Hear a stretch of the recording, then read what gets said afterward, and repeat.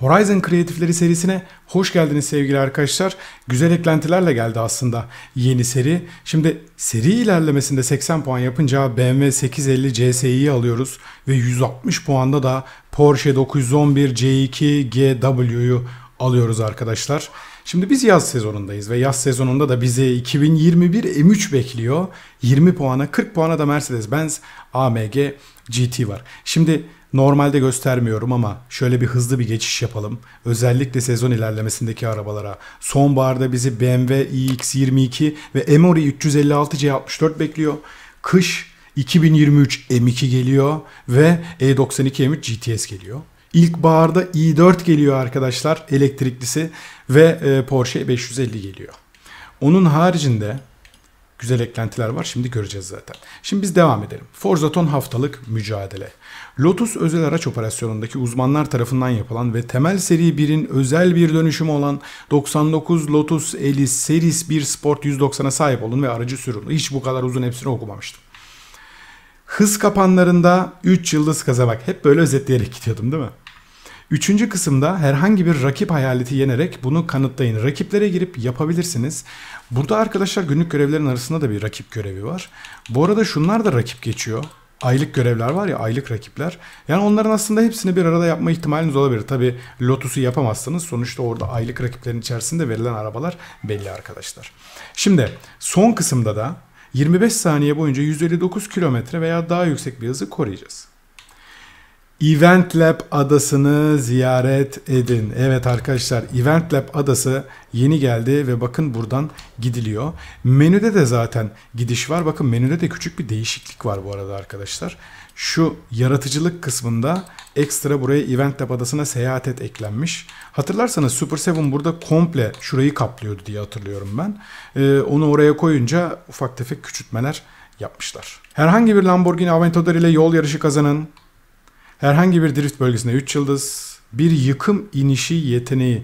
Ya biliyorsunuz artık hepsini de e, gene de arkadaşlar şöyle bir beton veya parçalanacak bir yere doğru uçup atlayıp tam böyle indiğiniz gibi onu kırarsanız yıkım inişi alırsınız. Araç yükseltmelerinde 25 bin kredi peki. Rakiplerde bir hayalet bakın burada da var.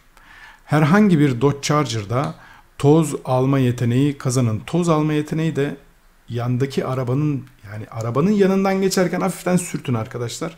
Minik ama böyle longırt diye adama direkt bodoslama girmeyin.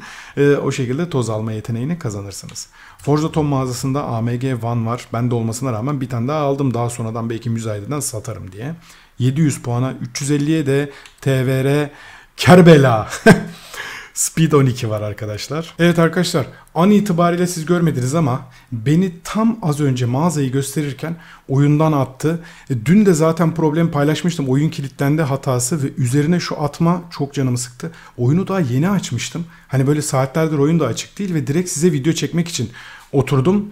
Valla mide bulandırıcı hele ki bir eleştiri yapacağım. Yani birçoğunuz artık yani göz var nizam var her şey ortada. Zaten bir sürü sıkıntılar varken Forza bayağı kan kaybetmişken ve abi Creve'in yeni versiyonu yeni çıkmışken bu kadarı da sanki biraz adam kaçırır gibi değil mi? Bana çok garip geldi abi ve hani çok talihsizlik de diyemeyeceğim. Keşke daha iyi çalışıp şu işleri daha iyi yapsalar ama e, tabii biz neyiz ki konuşuyoruz. Sonuçta biz sadece oyuncuyuz. İçinde kim bilir neler var. Teknisyenler onlar bunlar. Bu firmaların binlerce çalışanı var. O yüzden daha fazla yorum yapmayacağım. Ben kaldığım yerden devam edeyim. Horizon Arcade'de 3 puan alıyoruz. Deneme yarışında Porsche 918'i veriyor. Event Lab'lerin birinde Subaru VRX 2004, diğerinde de sektirmeler ifadesi alıyoruz. Bir tane daha Event Lab var. Süper şans çarkı. Hız kapanı. 2 tane. 3 tane. Oğlum bu ne lan? Hiç böylesini görmedim ha. 3 tane event lab, 3 tane hız kapanı. Normalde farklı farklı koyar.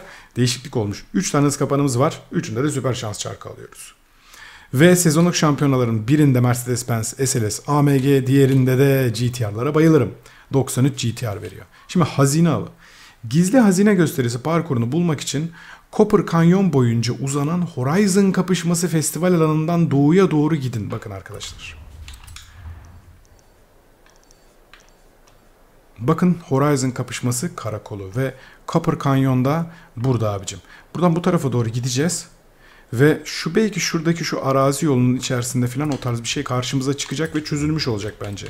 Hani özellikle bir arabadan bahsetmemiş. O yüzden buradaki arabayı alın diye ısrar edemeyeceğim ama olmazsa yapacak bir şey kalmıyor. Arabayı alıyoruz yani. Fotoğraf mücadelesi Gran Teleskopyo'da 2021 Mercedes AMG Van'ın fotoğrafını çekin. Bu zaten dağın tepesi arkadaşlar. Direkt göstereyim size. Bakın burada. Gran Teleskopyo da burada gözüküyor. Şimdi kocaman göreceksiniz zaten. Evet arkadaşlar. Bakın haritada tam da buradayım. Ee, az önce küçük bir deneme yaptım. Bu psikopat o teleskobu tam almamızı istiyor. Yakınında falan çekmeyin o yüzden. Biraz uzağında durun. Hem abi bu teleskobu alın hem de arabayı alın. Yalnız hiç de fena fotoğraf olmadı. İşte bu kadar. Gördüğünüz gibi görev de tamamlandı. Hatta kapak fotoğrafı için de ayrıyetten çektim arkadaşlar. Eleyici'de 30. olarak veya daha iyi bitirin. Aylık rakipler bakın burada Forza ev diye ev zannetmeyin. Elektrikli araçlardan bahsediyor. Burada 4 tane ayrı aylık rakibimiz var arkadaşlar. Hepsine girdikten sonra buradan tek tek bakın hepsini ayrı ayrı açınca ilkinde başlatıyor olabilir 8.4 kilometrelikte. Siz manuel olarak diğerini yaparken 2.6'yı seçmeyi unutmayın abi. Şimdi Rally Adventure'da drift bölgesinde süper şans çarkı, Hot Wheels'te gene süper şans çarkı ve sezonluk şampiyonaların Rally Adventure'da Lancer GSR 2008, Hot Wheels'te de Aston Martin DBS SL 19'u veriyor arkadaşlar. Ee, ben Super 7'a tabii ki de baktım ve her zamanki gibi süper şans çarkı veriyor. Valla ben BMW'leri çok severim arkadaşlar. Hani e, yakın zamanda inşallah ehliyet işi çözüldüğünde de aklımda en çok olan arabalar BMW ama tabii ki bu BMW olacak anlamına gelmiyor.